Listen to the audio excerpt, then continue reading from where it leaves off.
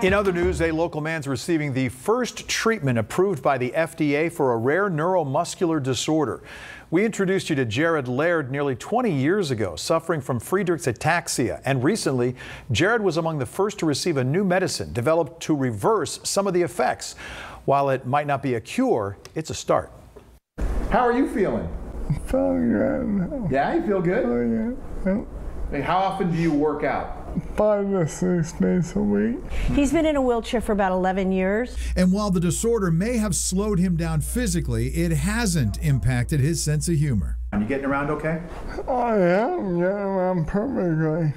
Around perfectly? Yeah, I mean, as good as I can. The speech has deteriorated, and uh, the mouth and throat are specific areas that it targets. And also just transferring him from his wheelchair to the car, to the bed, or whatever, those transfers have become more difficult.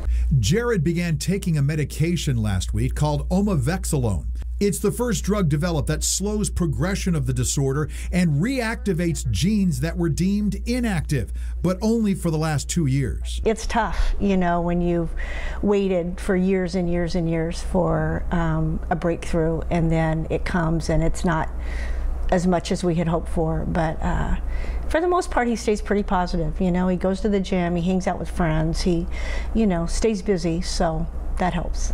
Jerod and his friends have held a number of fundraisers over the years, raising money for research. And while it's not as much as they'd hoped for, he's staying positive. That's the uh, the main reason I'm doing this. I mean, it might not help me as much, but it will help um, hopefully younger people that have the same thing. If they think that down the road they could reverse more than two years.